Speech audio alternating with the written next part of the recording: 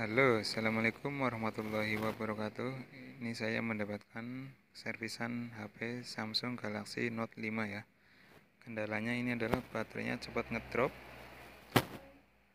Dan mau diganti. Oke langsung saja kita akan membongkar. Lupa like and subscribe ya guys. Terima kasih yang sudah subscribe.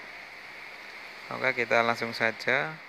Kita persiapkan blower dan baterai yang mau diganti. Ini baterai Samsung Galaxy Note 5 original. Oke kita panaskan dengan blower ya. Kita panasi dari bawah pelan-pelan. Untuk pengaturan blower kira-kira untuk heaternya kira-kira di angka dua setengah dan untuk anginnya kira-kira di angka 3 atau 4 biar hangat-hangat saja. Kita pakai plastik yang rada tebal untuk membukanya. Jika kurang hangat kita panasin kembali dengan blowernya. Sekiranya merata sehingga tutup bisa terbuka. Oke kita pelan-pelan. Saya coba dari bawah.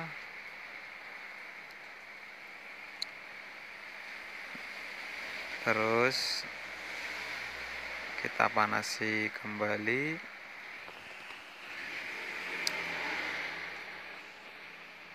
Sekiranya hangat kita buka kembali tutupnya pelan-pelan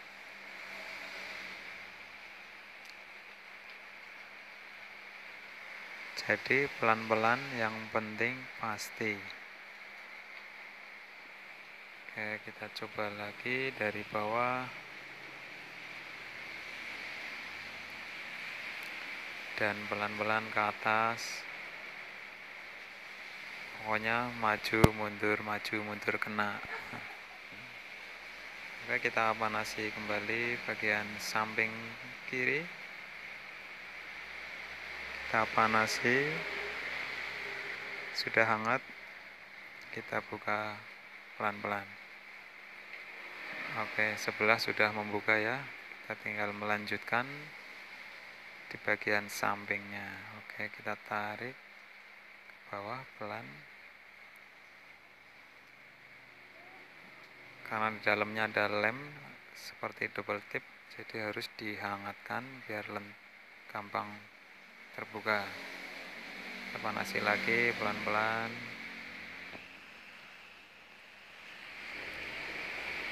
Kita panasi. Sudah hangat kita buka kembali coba lagi. Iya. Karena kurang panas kita panasi lagi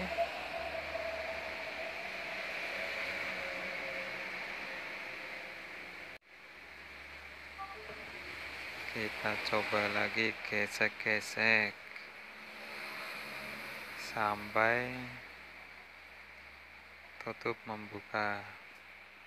Nah sekarang tutup sudah terbuka. Ini dalamnya seperti ini ya. Jadi sekarang tinggal membuka skrup dan bautnya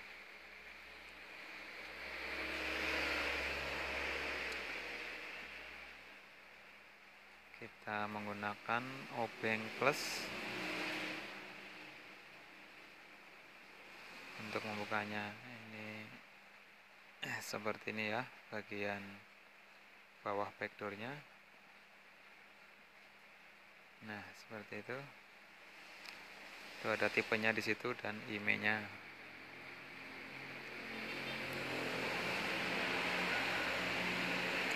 kita buka sekrupnya.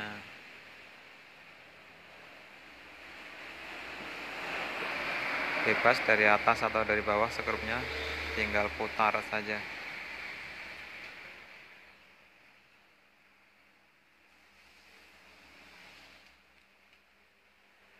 Skrupnya lumayan banyak jadi ntar saya percepat saja.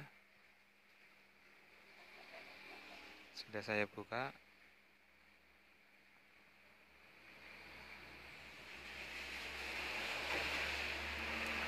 kita buka ini pennya.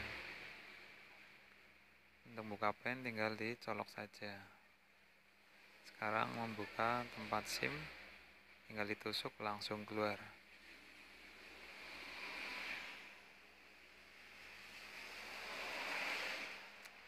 Kita buka pelan-pelan. Bisa menggunakan kuku atau ini ya. Plastik yang rada tebal.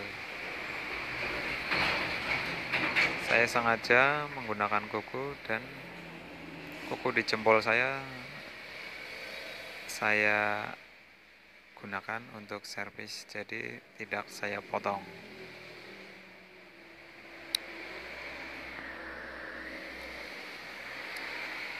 Untuk membuka LCD nya pelan-pelan ya karena lem double tip di LCD nempel dengan casing bagian belakang. Harus pelan-pelan karena jika tidak pelan-pelan maka LCD catnya bagian pinggir bisa terkelupas. Kita sudah membukanya. Dari bawah dulu membuka langsung ke atas. Pelan-pelan ada double tip bagian pojok-pojoknya. Oke sudah terbuka. Menggunakan plat yang tadi. Ini dalamnya seperti ini ya. Ternyata baterainya sudah kembung. Nah diraba sudah menggelembung guys udah dipastikan baterainya ngedrop. Dan gampang mati sendiri atau merestart oke handphone sengaja saya belum matikan.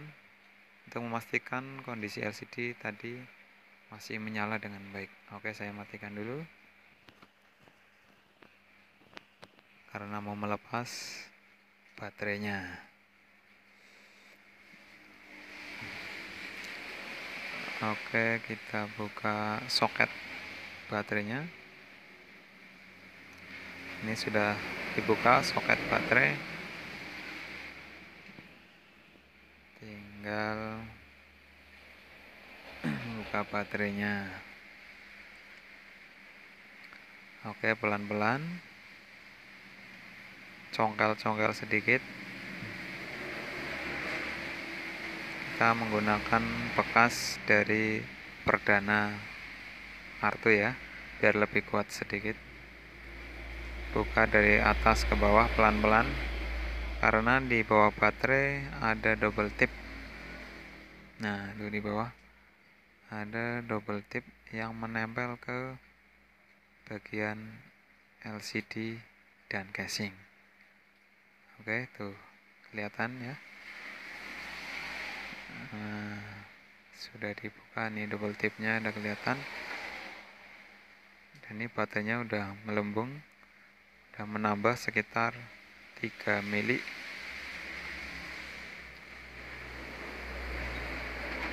Oke rapikan kembali double tipnya karena masih bisa dipakai buat menempelkan baterai yang baru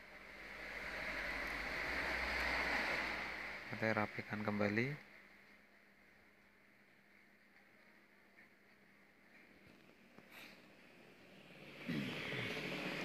Kita siapkan baterai barunya. Nah kelihatan ya baterai baru. Original Samsung. Ini saya menggunakan kualitas original 100% ya biar tidak bolak-balik mengganti baterai. Lalu di bagian atas ada label segel Samsung dan di bawah ada logo 100%.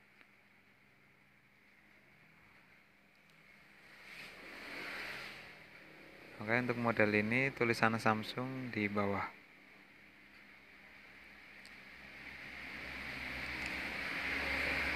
Jadi kalau yang aslinya tulisan Samsung di atas, kalau yang sudah penggantian tulisannya di bawah.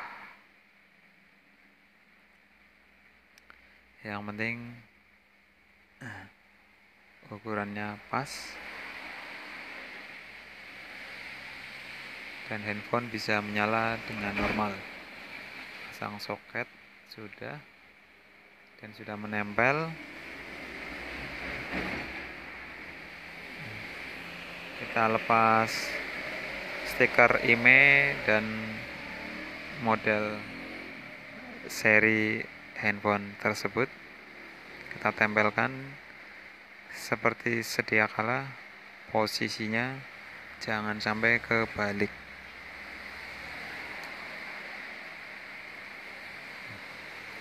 Oke sudah pas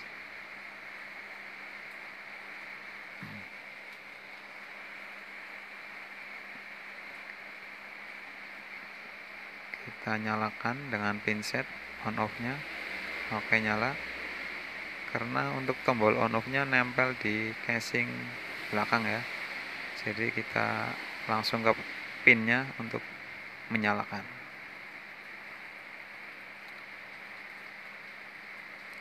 Oke kita akan memasang. Tutup bagian belakang. Kita cek komponennya apakah ada yang tertinggal atau tidak pastikan dengan teliti. Jika sudah kita tinggal memasang tutupnya ya.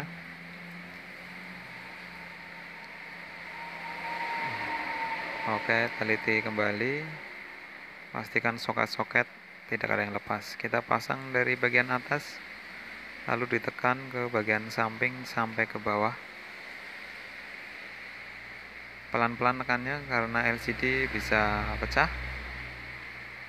Nah, kita tes. Oke. LCD lancar normal ya.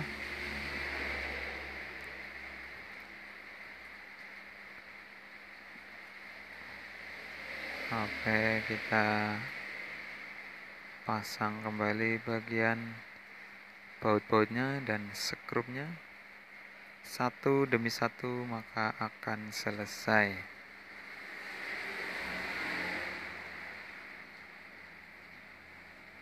Untuk teman-teman yang sudah menonton, jangan lupa like and subscribe ya. Subscribe ya. atau subscribe-nya. Terima kasih yang sudah like dan subscribe-nya.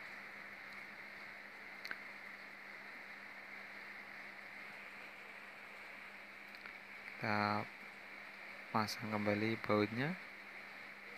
Atas bawah kanan kiri.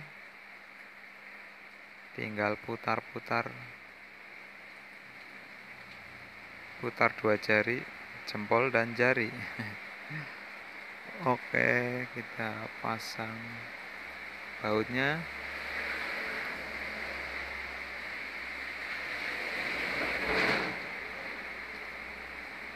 jangan terlalu kencang kira-kira sudah serat. Karena kalau terlalu kencang bisa aus. Saya pasangkan slot SIM.